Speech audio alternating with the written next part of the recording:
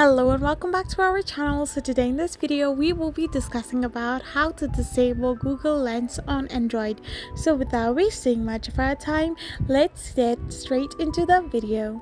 So to disable your Google Lens on Android, it just takes simple and easy steps which requires you to simply go and search for your lenses option.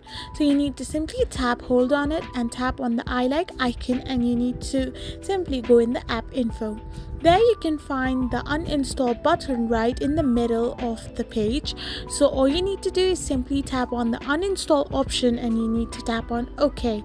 So once your Google Lens is completely uninstalled from your device, you will be able to disable it from your Android device as well. So by following this simple easy way you can disable it. I hope you found this video helpful so don't forget to hit that subscribe button and do give us a thumbs up. We will be back again with these informative videos. Thank you for watching.